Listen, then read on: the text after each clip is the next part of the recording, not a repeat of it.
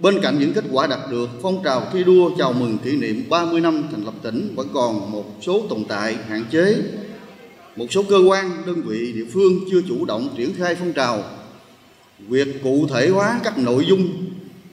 tiêu chí thi đua chưa kịp thời, chưa sát với tình hình nhiệm vụ thực tế của cơ quan, đơn vị, địa phương nên hiệu quả đạt được trên một số mặt chưa cao. Việc phát hiện, bồi dưỡng, nhân rộng điển hình tiên tiến thông qua phong trào thi đua có nơi còn thực hiện chưa tốt. Trong thời gian tới, tình hình kinh tế xã hội của cả nước nói chung vẫn còn nhiều khó khăn thách thức, đặc biệt là tình hình dịch bệnh Covid-19 vẫn đang diễn biến phức tạp, khó lường, ảnh hưởng đến mọi mặt đời sống xã hội.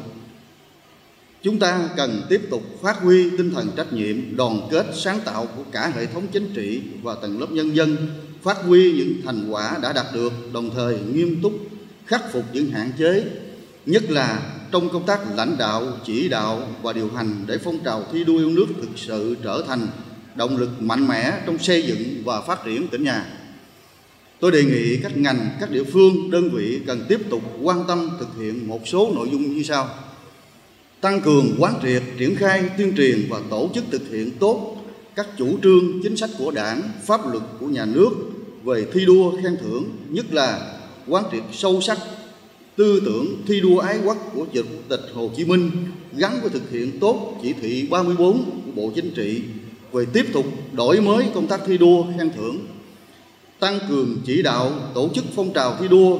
bảo đảm thiết thực, sát với tình hình thực tế của từng cơ quan, đơn vị, địa phương tăng cường vai trò lãnh đạo của người đứng đầu trong công tác thi đua khen thưởng. Hai là chú trọng tổ chức thực hiện tốt các phong trào thi đua do trung ương, tỉnh phát động, đặc biệt là phong trào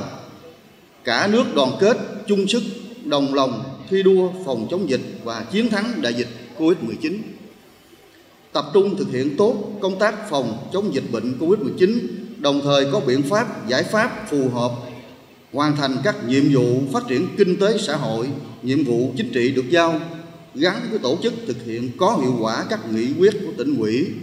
về ổn định và phát triển kinh tế bền vững, xây dựng nông thôn mới, xây dựng đời sống văn hóa, bảo đảm an sinh xã hội, ổn định và nâng cao đời sống nhân dân, củng cố quốc phòng, xây dựng hệ thống chính trị. Ba là quan tâm khen thưởng kịp thời đối với những tập thể cá nhân lập thành tích xuất sắc trong các phong trào thi đua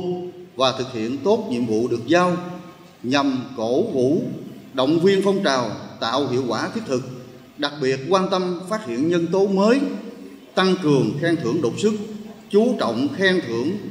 công nhân, nông dân, những người lao động trực tiếp cần làm thường xuyên và tốt hơn nữa công tác tuyên truyền nhân rộng những tấm gương tiêu biểu những tập thể cá nhân có thành tích xuất sắc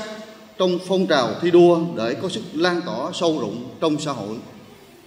Đề nghị Ủy ban Mặt trận Tổ quốc Việt Nam các đoàn thể, các tổ chức xã hội nghề nghiệp tăng cường vận động đoàn viên, hội viên và nhân dân hưởng ứng tham gia tích cực phong trào thi đua yêu nước, góp phần thực hiện thắng lợi nhiệm vụ chính trị, phát triển kinh tế xã hội của tỉnh Bà Rịa Vũng Tàu. Thưa các đồng chí,